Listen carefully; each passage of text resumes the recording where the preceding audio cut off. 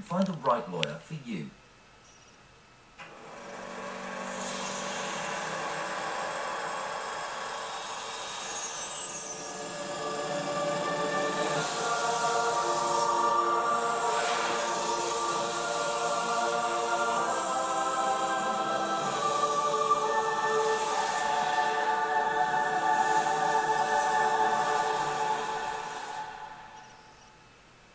Sky has rated the following film 12.